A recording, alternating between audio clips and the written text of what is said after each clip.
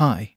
Recently, Windows 11 has given a new feature called Record and Snipping Tool. This is fantastic and really worth using feature with which you can record videos without any external software. And today I will show you how to get it in your Windows 11 snipping tool. Firstly, you need to download a file given from Microsoft itself.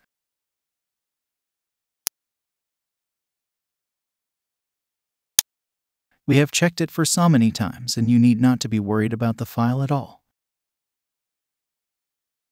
All the security vendors marked it secure. It's safe and ready to go. Okay, this is the file from Microsoft. Now before installing Attempt, make sure that you have enabled extension showing. Go Go File Explorer Options. Under View tab and check Hide extensions for known file types. If it is already done in your PC, then OK.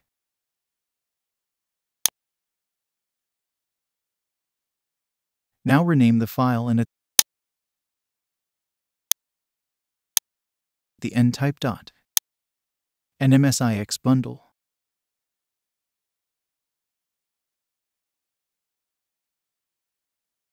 Simply have a look carefully. Before going to install it, I would like to show you the snipping tool as of now. It has no recording option.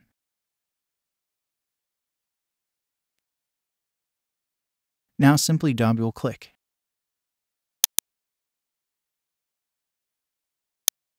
Update Snipping tool will automatically appear. Update.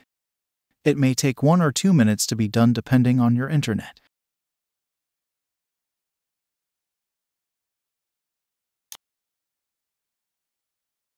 OK, finally it is done and the record option is given beside snip. Click on Record, then pressing New will show you the area you want to record as. Increase or decrease the area.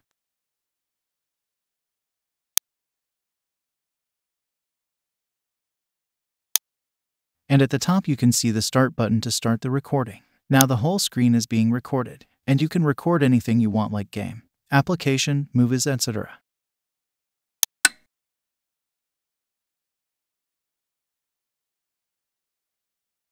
When done, click on Stop. We can see the recording preview. This will ask you to save it and simply choose your directory. I am heading to the video.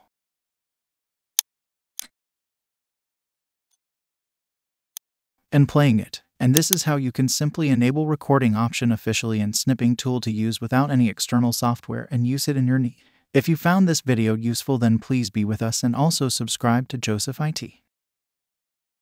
Any question or query, feel free to write us in the comment box.